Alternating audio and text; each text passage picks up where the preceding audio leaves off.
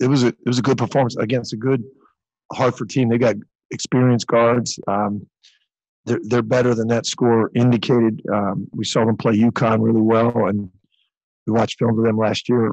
Could have won their conference tournament. Um, so we feel good about it. It was good to get the guys in the bench, and um, I, am sure those guys. I've been doing media, so I haven't met with the team yet. So I'm sure they're just praying that I don't call them back tonight and say we're staying for another two days.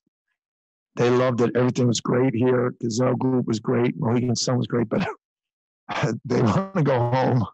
I think they want to go home. So it was uh, it was it was a good finish to a, a great trip. Joe, go ahead. Uh, Jay, I know you wanted to get the bench some some time. Uh, what did you think of the performance, especially of, of Eric uh, coming in there and uh, 20 minutes, 14, 10, and three? Yeah, I was I was really proud of those guys, and um, specifically proud of you know, Jermaine Samuels and Collin and Jeremiah Robinson, who just came in the game to defend and, and set everybody up. Um, you know, there's a lot of guys that, that could go into a game and, and say they want to get their points after a tough game against Virginia Tech, and they just did all the little things and and allowed those guys to play well. You know, Jeremiah, I can't believe he only had three assists. I mean, he was feeding Eric all night, and um, and then Eric was great. Brandon Slater was great, and uh, and and it was good to get those guys those minutes. Cole Swider was good too. And what was it like for Eric, you know, playing against guys he didn't know uh, and then having such a good game tonight in extended time? That, that's a great experience for, for him. As, as, I said to you, you know, a number of times, I love this kid. I, I think he's going to be really good. Um, and, and the reason I can say I love him uh, like that and not worry about his, his head blowing up as he's very intelligent, very humble. He's got great parents. They know he's got work to do his conditioning and he's working at it. You know, he, he, um, be, besides his points, I mean, he played with great intensity for 20 minutes. Um, he got a little tired at one stretch, but that's okay. Um, I, I, was really proud of him. Thank you. Josh, you're unmuted.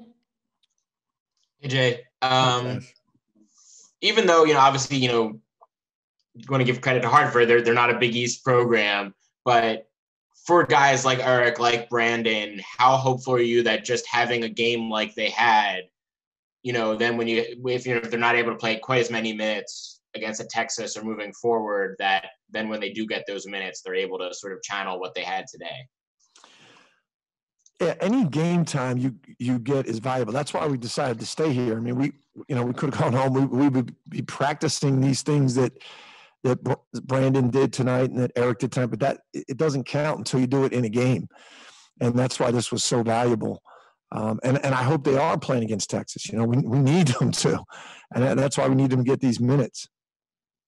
Does it give you more confidence that, you know, you can, you know, if a guy makes a mistake, that you can count on him that, all right, I can leave him in play through it this time, you know, Definitely. having gotten a little. Definitely. I, you know, coaches have their weaknesses like players have their weaknesses. And, uh, one of my weaknesses is, is relying on our veterans. Like I trust our veterans implicitly, sometimes too much. But that's, you know, I need to get these guys more time and trust them more, and and they proved it tonight, and they, they definitely earned our trust tonight. Terry, you're unmuted. You know, Jay, you you went to call early. You went to the bench early. Was that a concerted effort on your part, a conscious effort that to get those guys in early? Yeah, you know, especially Jermaine and uh, Collin and um, uh, Jeremiah, who who played a lot of minutes, and and so we, we want to just keep those guys fresh and start a rotation early. Mike Jensen, you're unmuted.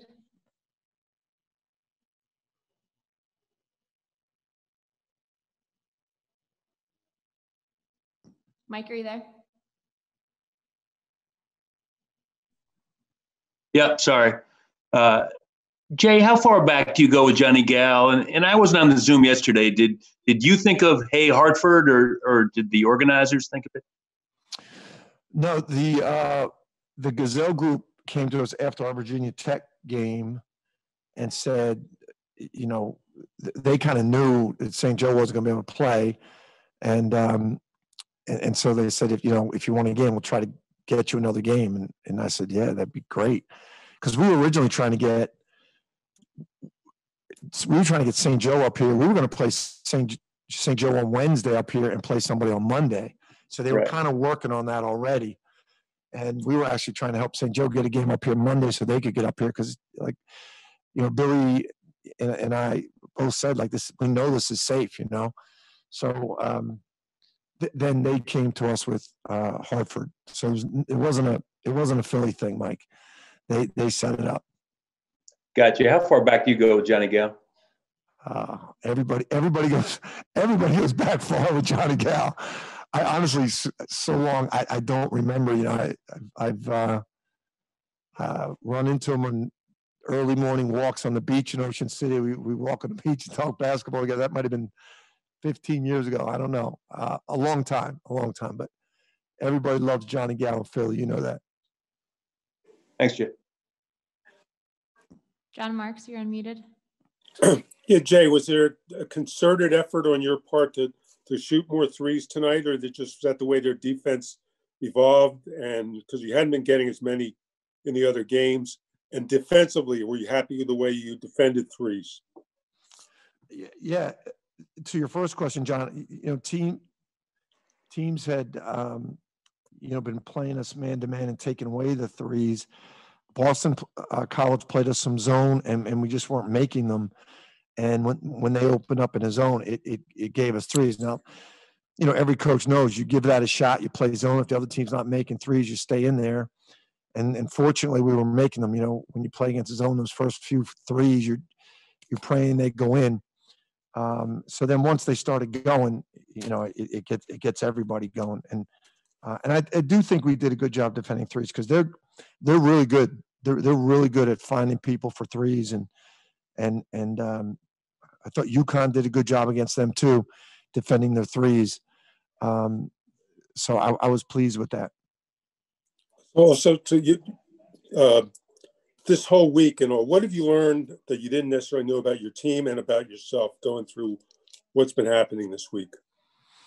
I would say mostly, John, just um, great admiration for the NBA guys that that went through this bubble for months. And everything was perfect here. The rooms, the the security, the food was great. It was run extremely professionally. But you know, you're you're inside, you know, from Monday to to Tuesday. You know, and um, I, I I you know I just really learned the the, the mental impact that has on young on young guys, especially when they thought they were going to leave twice. You know, um, and and I, they're mentally strong. I, I'm I'm really proud of them, and I really I would not push them another game. I, if we got offered another game, I wouldn't go. They've handled everything great. Um, I- I think they've they need a, a mental break. I think physically they're good. We played four games in seven days. I thought they handled that well. We're in good shape. It just um, the mental aspect of you know being in, in a bubble for this long is is impactful. I hope if we get a chance to go to the NCAA tournament, this is going to have been a great experience for us. Okay, Dan, the last question for coach is yours. Oh, good, because it's a good one. Jay, if you say so yourself, Danny, Mr. Humble and Hungry. are you out of clothes or a fashion statement with the white belt? yeah, it might have been it, it might have been a little overdone. I just figured the white sneaks. I actually had it. We had white sneaks on the other night. I had the belt but I had a, uh, a a top over it. So I don't know. I was I was thinking white belt, white shoes. Past past Labor Day might might have overdone it a little bit, Danny. How are you feeling without wearing the suits? I mean, is this going to be a, year long thing for you? I hope, yeah, yeah. I, I hope it goes into the future. I, I've, I've, I've, I've long contended. I I think this is how we should dress for games. The only reason I wear a suit, and I think a lot of us do, is just out of respect for the game, and out of respect for the great coaches like Nat Holman and and Frank McGuire and everybody who that you know who started this and dressed that way. But this is really how we should dress. You know, we're, we're it's, it's sports. You know, we're in a we're in a game, and um, it's not that it's just comfortable. It's just it's it's sports how we practice. You know, I, I like it. All right, thanks, man. All right, buddy. Great Thank question. Coach.